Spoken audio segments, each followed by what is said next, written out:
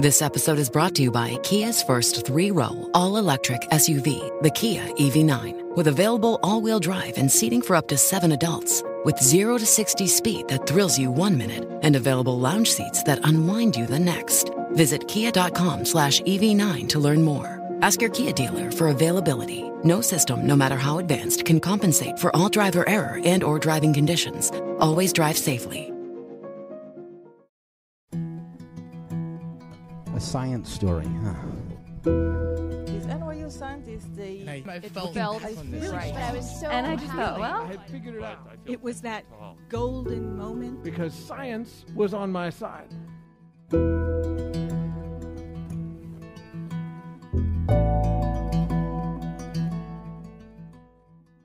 Hey everyone, I'm Ben Lillie, and welcome to the Story Collider, where we bring you true stories of how science has affected people's lives. This week's story is from Mara Wilson. The story was recorded in May 2013 at the Bell House in Brooklyn as part of our three year anniversary.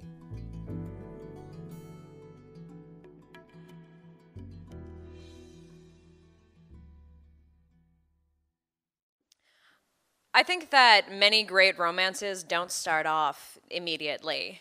I think there's a moment, and you see this a lot in art and in literature and in real life as well, where you look back and you realize that what you've been looking for has been there all along. I did not like science as a kid. I think this was partly because of my father's lectures. Uh, my father was, he is an electronics engineer, and he'd been a pilot.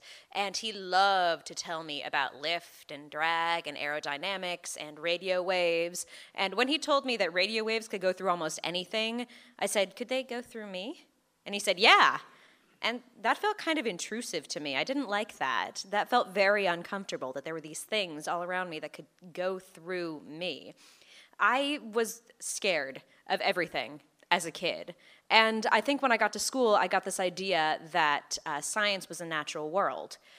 So I didn't really like science because I was afraid of everything, and the natural world was terrifying. Uh, this, was, this was never more clear than when, wh- when I was in kindergarten and we had an assembly on astronomy. An astronomer came and he talked to us. And in an attempt to make what he was doing uh, sound more exciting to kids, he started playing up the really scary, crazy parts of astronomy. But he ended up just making it terrifying. So I was sitting there, I was five years old, and he was going up there talking about Venus, which is this object in space where sulfuric acid rains down all the time, and the gases and the pressure can kill you, and it's 800 degrees. And I started to cry because that was scary that there was this thing out there that could kill me in myriad ways. Even if I knew it wasn't actually a threat, it was still scary. And I cried even harder when he got onto solar flares because for some reason, I, I, guess I thought, you know, when he was explaining that, you know, fire comes off from the sky, I was thinking the fire was going to rain down on the earth and kill us all. Uh, I was sort of suddenly face to face with my mortality, and I was five. I, I like to call that my first existential crisis. Um, and I had to, I, I would not stop crying. And uh, the teacher had to pull me aside and calm me down. I remember her giving me a rice cake, uh, which for some reason calmed me down. And, uh, and my, my brothers made fun of me so much. They were like, hey, Mara, Venus is coming. Venus is coming for you. Uh, for years afterwards. And my mom said, well, you know, maybe you were just getting something out of it that the other kids weren't. But I don't think I was. I, I at least at the time, I did not think I was. Uh, it was just scary. So as I got older, I, I thought, I think I just kind of thought, well, I think I was very rebellious at that age. Uh, my mother died when I was eight, and I went from being really scared to being really angry. Maybe I was really angry because I was really scared. And there wasn't a lot of stability in my life, and I just felt angry and confused, and I needed to just lash out at anything, any kind of institution whatsoever. And I remember thinking that science was almost this institution of oppressive facts pushing down on me, and, and I didn't like it, I didn't want any part of it. And I thought science was not for the people like me, the creative people. Um, and also, I, I remember about this time, I had. Uh, I remember there were, I heard about a study that had, had come out where they had been testing some kind of new cancer drug, and my mother had just died of cancer, and I thought, well, why couldn't they have come up with that two years ago? Why couldn't they have done that then? I didn't have any faith in any kind of medicine or science. Uh, and about this time, I read an article in uh, Highlights for Children by this uh, some dude car- called uh, Carl Sagan, and uh, I just I, I, had no idea who he was. I'd seen him in a Far Side cartoon once, but I I started I read it, and he was talking about the universe, and they asked him at the end of the interview, "Do you ever get tired of talking about this?" And he said, "No, because I'm in love with what I do, and when you're in love, you want to tell the world." Now, I didn't even want the world to know that I had a crush on Jacob Hirsch the previous year, so I didn't see why he would want to tell the world about this. And also, why would he want to tell the world about something so boring like science? I mean, it wasn't like things that we creative people were into. You know, it was just rote memorization that I did so I could manage to squeeze out a B plus in that class. It wasn't anything interesting.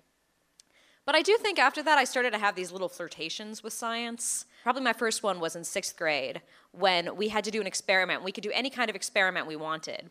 And so I think I did something about uh, which shampoo cleans your hair better. It, it wasn't very, uh, the efficacy was very much in doubt. And the students, all the students formed groups and they had to go up and they'd present their hypothesis and then we'd put up the little posters that said, you know, what our conclusion was. And I noticed that the popular girls, their, their hypothesis seemed different. And I remember going up to this one girl and saying, Hey, Brittany, I thought you said your hypothesis was before that Orange Slice was going to shoot faster and, and create more foam than Coca Cola. Why does it say now that you thought Coca Cola was going to shoot the farthest? Why'd you change it? And she went, Oh, shh. And that didn't seem right to me the fact that somebody was going to change their hypothesis that did, like to make it seem like they'd been right all the all the time there didn't seem like there was anything wrong with being wrong uh, which was a new feeling for me that there wasn't anything wrong with being wrong. But i thought okay who am i to defend science? And i just kind of went on with my life. Uh, then, about a year later, I went outside and I looked up on our front porch, and there was a nest above the front porch light. And I got really excited because this was nature, but this was cute nature.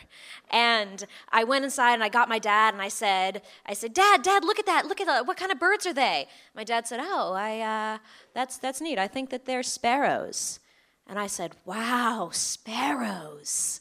And about a week later, I realized that sparrows were the same boring brown birds that just hopped around our front yard. But for a minute there, there was real wonder and it was really exciting. And then I got to high school, and I was not very good in science classes in high school, and I was especially not good in physics.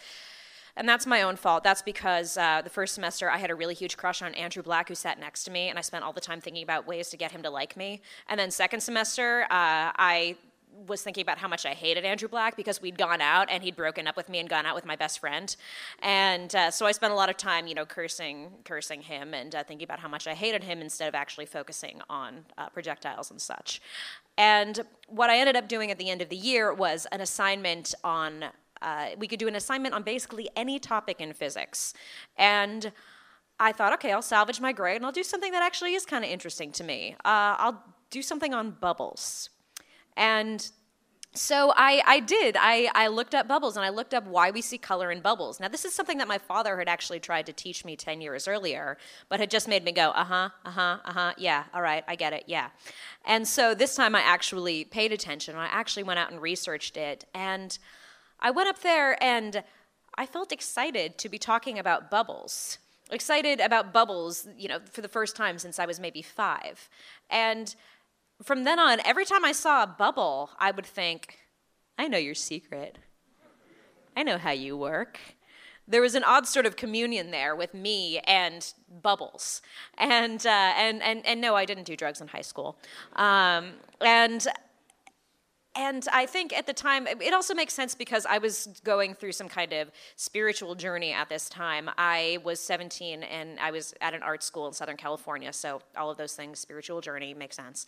And I was the star student in my comparatives religions class. My, my teacher uh, told me that I had a true talent for theological thinking. And I was a little less angry and I was more into why the things that made me angry you know why these things that that made me angry and and how and what and i wanted to learn more and more about these things and where I found I was finding a lot of my answers was actually in my biology class. I had this wonderful teacher, Jerry McCampbell, who unfortunately has since passed away. He had these big glasses, this big bushy beard. He'd gone to MIT. He was, you know, this very quintessential nerd, and, and I loved him. And we would talk in that class, and what I loved about it was that I could see that things were true, and I could see how they were true, but I could also see how we knew that they were true, the process behind it. It was like looking backstage during a production. And I really liked that class, and I would talk to him about things that I'd never wondered before, like, are humans going to keep evolving? And he would say, well, you know, we're changing the environment around us, so we're not really sure, you know, and we, we, can't, we can't really tell. I later learned that that was up, to, up for debate otherwise, but uh, that's a separate issue. And um, and so I found myself getting more and more interested in what he had to say. And I don't think though that though that that was really the thing that made me fall in love. I think what it was, fitting for a theater nerd like me, was seeing a play uh, by Julia Sweeney called "Letting Go of God," uh, which is about science and a religion. And uh, during the show, during the middle of the intermission, she tells people that they can come down and they can pick out books and just look through them because these are all books that she's read. And I went down there and I saw a book that looked interesting, and it was by this guy, that same dude, Carl Sagan.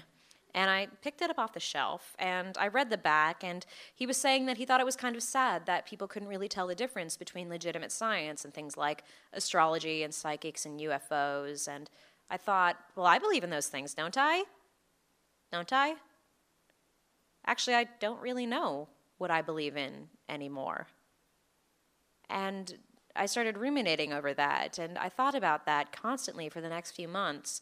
I graduated high school and I went off to college, and once I actually got to college, I went to the library and I checked out that book, and it was a book called The Demon Haunted World.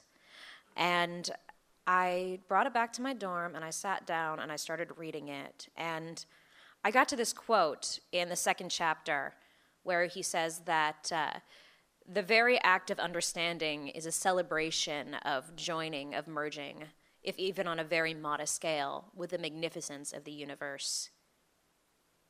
And right then I knew I was in love. I felt like I was in love. I felt like I was seeing the world through different eyes. I felt like everything had suddenly changed in my mind, and everything was suddenly so much more interesting and so much more alive. And I felt like I was a part of it. I was alive in it. I was connected to it. Because what I'd learned from him and what I had finally put together was that science was not an institution, science was not fact, science was a method for discovery. And discovery was exciting. Discovery meant figuring out these all of these exciting things around us and it could also be very comforting in a way. It could be uh, figuring out you know why why we how we know that solar flares are not going to burn the earth to a crisp. It could be um, why and, and it could actually help me understand things like why we are not going to have cancer drugs immediately why these things take time the actual history behind these things. And it was also finding the beautiful in the mundane, finding the color in bubbles and explaining why we found that color in bubbles, and seeing the beauty and magnificence and intricate relationships in a nest of those boring brown birds that pop around the front yard.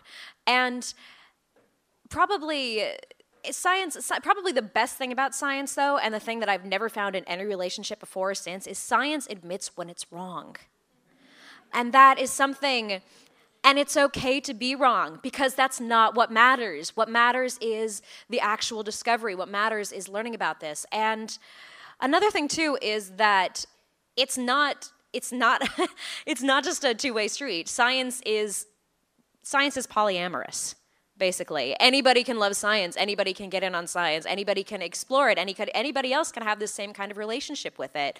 And I've realized that other people feel this way too. And I can talk to them about it and I can discuss it with them, and they too will know that same discovery that comes when you look at a bubble or when you look at a bird. And uh, it's also, I think, it's probably something that's brought me closer to my father as well, because now I can call him up and he will actually talk to me about radio waves, and I will actually listen because I know how it makes him feel, because I've felt that same feeling now. And I think that this is something that uh, I've been trying to communicate and I've been trying to explain, and it can be hard because I live in a community of people who think that think very much the same way that I do. That they are creative, interesting people. They are well, they are interesting people who think that they are creative people, and that science doesn't mean anything to them. And I want them to know that it's not like that. That they can enjoy science, and I want to keep telling that to people because I am in love, and when you're in love, you want to tell the world. Thank you.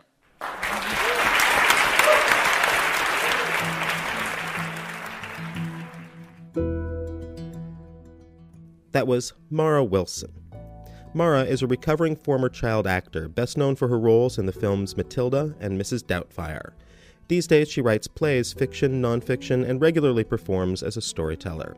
She's a graduate of NYU Tisch School of the Arts Playwrights Horizons Theater School, but loves science far more than anyone with a BFA in drama really should.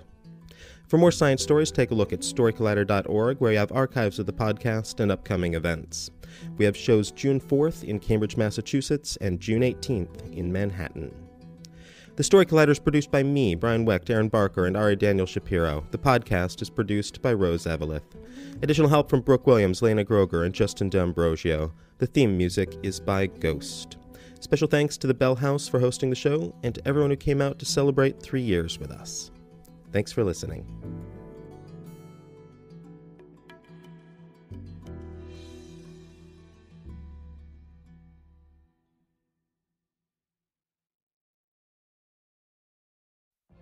What if you could have a career where the opportunities are as vast as our nation, where it's not about mission statements, but a shared mission? At U.S. Customs and Border Protection, we go beyond to protect more than borders from ship to shore, air to ground, cities to local communities. CBP agents and officers are keeping people safe. Join U.S. Customs and Border Protection and go beyond for something far greater than yourself. Learn more at cbp.gov/careers.